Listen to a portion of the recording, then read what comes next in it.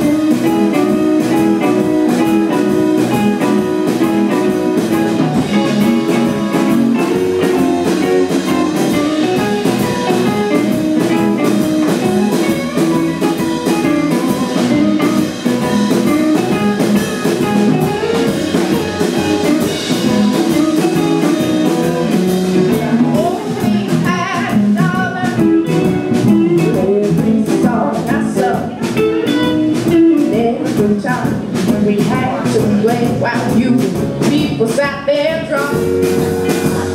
No, I can't catch the next train back to where I live. Oh Lord,